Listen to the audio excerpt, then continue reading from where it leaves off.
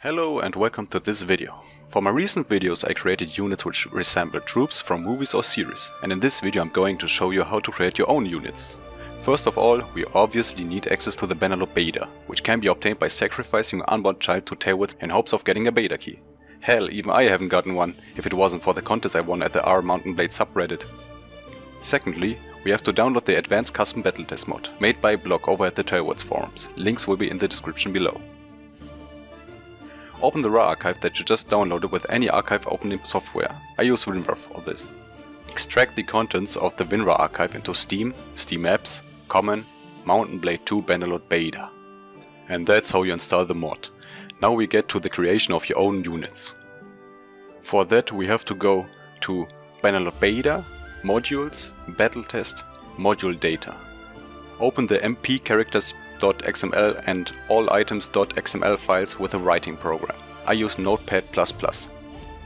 In the MP characters XML file, you can see every unit with their skills and their equipment set for the mod. For example, we got Ulfric, which has these skills and these item sets. And in the all items XML file, we can see all the items we can give our units. Now, to see what equipment we want our character to wear, we have to head back to the TaleWorlds forum and into the Creative Unit Aesthetics archive thread. Link for that will be also in the description. Scroll down until you see these links. For the sake of the video we are going to make a custom Battania unit, so we click on the Battania Armor Gallery link and we will be brought to another download page, where we download these Excel files and extract them somewhere safe. I made a folder on my desktop called Armor, with all the Armor Excel files open these files with Microsoft Excel or some other program which can open Excel files. We want to open the Battania Body Armor's Excel file. And here we can see all the Battania body armor that exist in the game with their name and mesh ID. For the sake of the tutorial we're gonna pick the leather armor kilt. Now, we have to go back to the allitems.xml file we opened and look for the mesh ID of the armor we want, which for the leather kilt is leather armor kilt. And here we go. We found the mesh ID and now we can copy the item ID of the kilt, which is right here, where it says ID, and paste it to any unit you want. For the tutorial I just swapped the body armor for our boy Ulfric and voila. Now you have to do it for every piece of armor you want to have changed. For example, if you want the bracers to be changed, you have to go into the bracer Excel file. Or if you want to have the shoulder changed, you have to go into the shoulder guard Excel file, and so on. Additionally, you can change the name of your custom unit. For that I changed Ulfric's name into mine, and that is how he will be shown in the game afterwards. Now you gotta save and you're done. Let's see how he looks in game. And as you can see, the name got changed, and his body armor also.